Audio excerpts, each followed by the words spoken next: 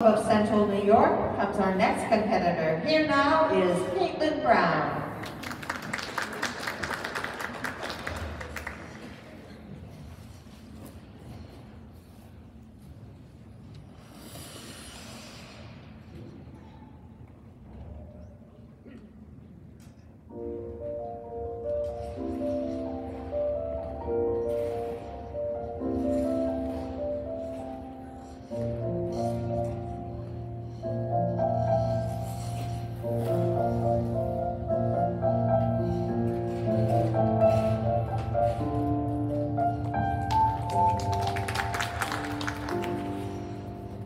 Thank you.